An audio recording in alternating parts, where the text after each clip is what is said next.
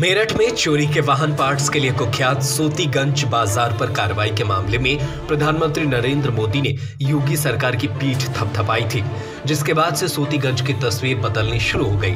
जी हाँ, कल तक चोरी के वाहन पार्ट्स यह बाज़ार गुलजार रहता था। लेकिन अब इसकी कुख्यात बाज़ार में जूते, कपड़े और फ्रूट्स बिक रहे हैं। सालों से काबाड़ के काम करने वाले व्यापारियों ने अब पुराने काम को पूरी तरह बंद कर नया काम शुरू कर दिया है। इतना ही नहीं, पुलिस के खौफ से सूतीगंज के कबाड़ माफियाओं के हौसले पस्त हो गए हैं। अब खुद ही अपनी दुकान पर नए धंधे के पोस्टर चिपका दिए हैं। पुलिस कार्रवाई के खौफ से पूरे सूतीगंज बाज़ार में सन्नाटा पसरा हुआ है।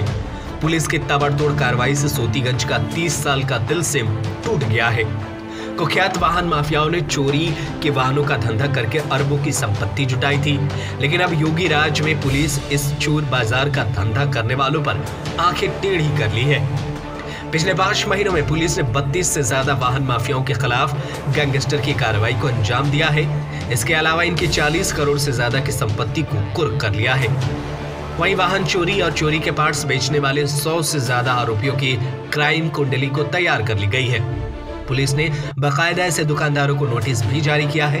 वही नोटिस का जवाब न देने पर दुकान बंद करवा दी गई है। आपको बता दें कि योगी सरकार आने से पहले सत्ताधारी सफ़ेद पोष नेता इस चोर बाज़ार को संरक्षण देते थे। पिछले 30 सालों में अलग अलग सरकारें आई कई पुलिस और प्रशासनिक अधिकारी भी आए, लेकिन इस धंधे को बंद कराने की हिम्मत नहीं जुटा पाया।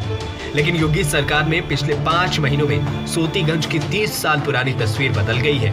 वाहन माफियाओं पर ताबड़तोड़ कार्रवाई से अब पश्चिमी उत्तर प्रदेश ही नहीं, बल्कि आसपास के राज्यों में वाहन चोरी की घटनाओं में गिरावट आई है।